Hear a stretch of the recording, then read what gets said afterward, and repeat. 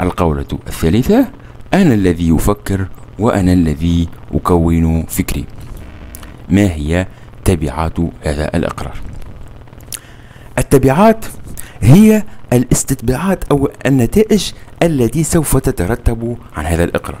وهنا تلميذ البكالوريا في المناظرة مطالب أن يطرح مطالب أن يطرح سؤالا. في في المسودة وهو ما الذي سوف ينجم أو ما الذي سوف يترتب عن هذا الإقرار؟ ليتمكن من تحديد تبعات هذا الإقرار. قلنا أنا الذي يفكر وأنا الذي أكون فكري. ينتج عن هذا الإقرار اختزال الوجود الإنساني في بعد واحد وإقصاء الأبعاد الأخرى.